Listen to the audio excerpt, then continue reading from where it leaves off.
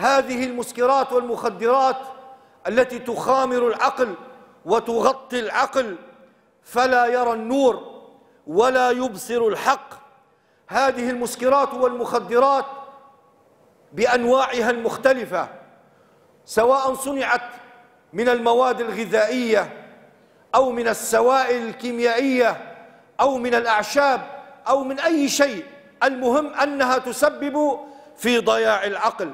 فهي حرام بنص القرآن والسنة وإجماع الأمة ولا يناقش في ذلكم إلا من طمس الله عز وجل بصره وبصيرته.